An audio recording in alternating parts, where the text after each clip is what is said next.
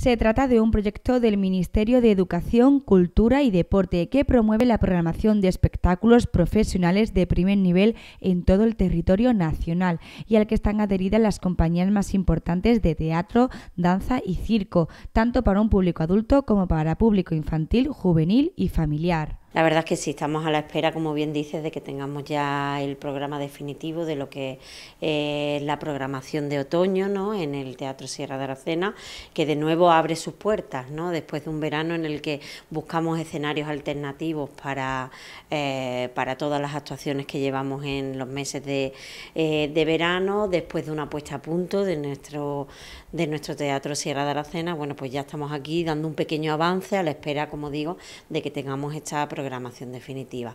Muy satisfechos, por tercer año yo volvemos a formar parte de, Platea, que recordamos que es un programa del Ministerio de Educación, Cultura y Deporte, eh, en el que se, tenemos acceso a, actuaciones y a programaciones eh, de primer nivel en cuanto a teatro, eh, música, danza, eh, bueno, y podemos tener acceso en teatros como el de Aracena a estas programaciones, como digo, de, de primerísima, eh, de primerísimo nivel.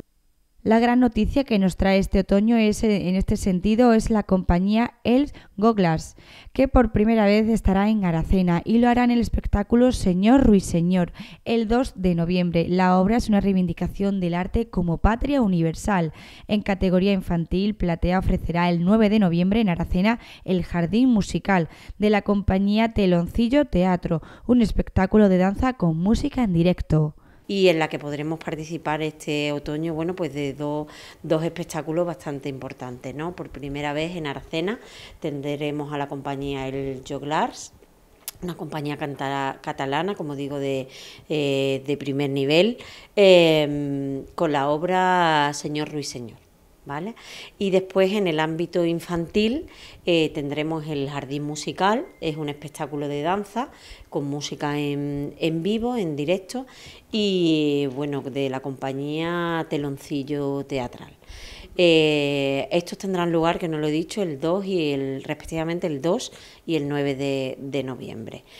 En el apartado musical, de nuevo, el Teatro Sierra de Aracena apuesta por un gran tributo, esta vez a Michael Jackson, de manos del espectáculo Michael Legacy, 8 de diciembre, un espectáculo para todas las edades con una escenografía muy cuidada, con réplicas exactas de las canciones originales, nueve bailarines y grandes voces en directo. Eh, después en ámbito musical tenemos eh, un gran tributo este año al, gran artista, ¿no?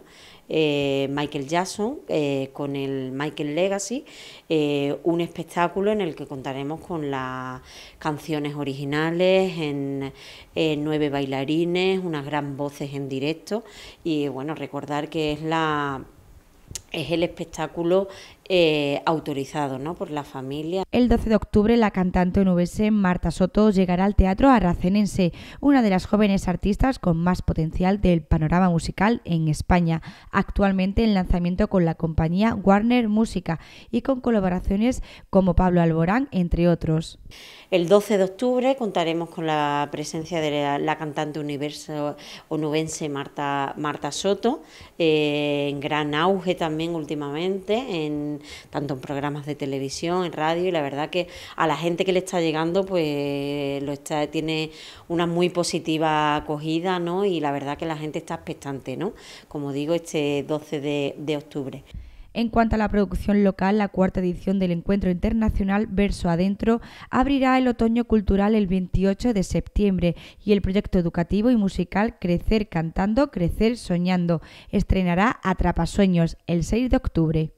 Y después ya lo que es en la producción local, el 28 de septiembre abrimos el cuarto encuentro internacional Verso Adentro, que tendrá la apertura el 28 de septiembre. Ya avanzaremos también la programación, será un fin de semana intenso.